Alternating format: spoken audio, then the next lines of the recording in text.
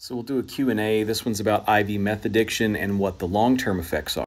So I'm going to break it down with long-term effects and short-term effects. Um, with long-term, your main concerns are going to be things like infectious complications. So when you're using a needle, you open the door to getting infectious uh, viral hepatitis, um, HIV, and then, of course, things like um, widespread lung abscesses, which can become septic and kill the patient. I've had that before. And also something endocarditis, which is basically an infection and inflammation of the heart valve. So, my biggest concern is actually short term use because methamphetamine causes a cardiac toxicity, which means as the level of the drug rises in the bloodstream, it can actually cause the heart to go into a fatal arrhythmia. So, in other words, the heart goes into a ventricular fibrillation, and most of the IV meth autopsies I do are from a sudden cardiac death. All right, let's do another Q&A. Um, this person has asked why we make a V-shaped um, incision and not straight across. So, in short, when we do the autopsy, we start um, the incision here at the shoulder, go to the middle of the chest, another incision here to middle of the chest, and then down the abdomen. We actually call that a Y-shaped incision. Now, I also want to say um, folks from other countries have told me that they do the T-shaped incision, where they go straight across and down. But in the United States, most of us do the Y-shaped incision, and that is because when you have the Y, or the top, which was the V, you actually dissect that flap back up so that you can see the neck all the way to the mandible.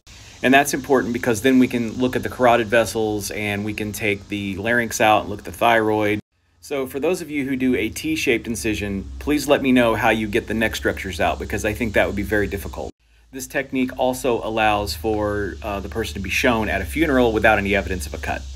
All right, we are on a Q&A tear this morning. So this person asked if I've ever not wanted to do an autopsy because it made me feel uncomfortable. There are a lot of difficult autopsies that we see, um, particularly ones involving children, um, ones involving um, any tragic accident, anything involving abuse.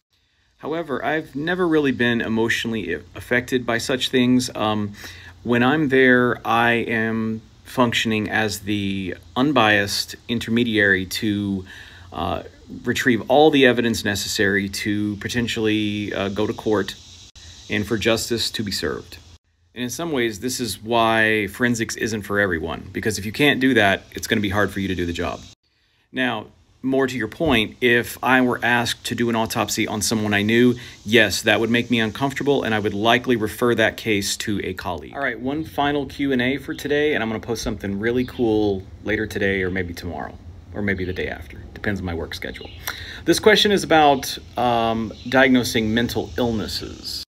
So, um, illnesses such as schizophrenia, depression, bipolar disorder, um, any of these, they're not really diagnosed anatomically, they're diagnosed clinically.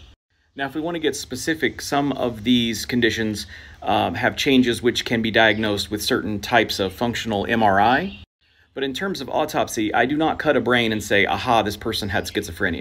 When I'm considering diagnosis of mental illness, I am usually relying on the medical records that I review for each case, or sometimes an oral history from the family.